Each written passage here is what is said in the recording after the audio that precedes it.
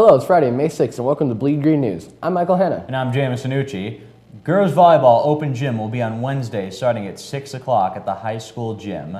A reminder to all students library books need to be returned by Friday, May 13th. Also, seniors, don't forget to pay your library fines before graduation. The Churchill County High School Performing Arts Department presents The Sound of Music. The play will run this evening and Saturday, and again May 12th through the 14th at the CCHS Theater. Play begins at 7. CCHS will hold its last blood drive of the year on Wednesday, May 11th from 8 a.m. to 2.15 p.m. See the school nurse to get your permission slip and to schedule an appointment. They are accepting applications for two boys and two girls at the Youth Conservation Corps at Stillwater National Wildlife Refuge Complex. Applications can be picked up at the Stillwater office located on 1020 New River Parkway. Deadline to turn in the application is Friday, May 20th. There will be a graduation tab in the Lahontan Valley newspaper. You can post a special message to your graduating senior. Costs range from $40 for one twelfth of a page to $104 for a quarter page. Ad deadline will be Friday, May 20th. To order, please call Beverly at 423-6041. Don't miss out on this year's Night of Fights, which will be held at Venturacci Gym on Saturday, May 21st. Doors open at 5 p.m. and boxing will begin at 6. The CCE CCHS Advanced Video Production class created some magic videos. Here are some more examples.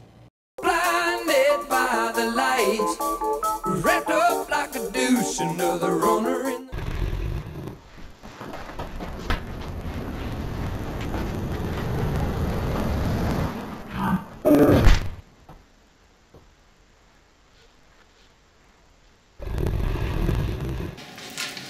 Man, I forgot my bag. What up, girl? I got your stuff. Thanks.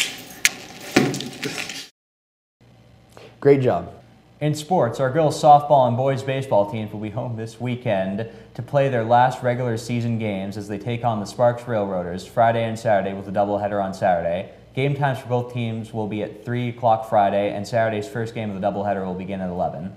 Our first place girls softball team swept Dayton this last weekend to improve their league record to 19 and 2. Meanwhile, our boys baseball teams have won five of their last seven games and are currently fourth place in the league standing with a 13 and 8 record. Good luck to both teams as they prepare for the playoffs. That's it for today, and thank you for watching Bleed Green News. I'm Michael Hanna. And I'm James Sanucci. Have a great day.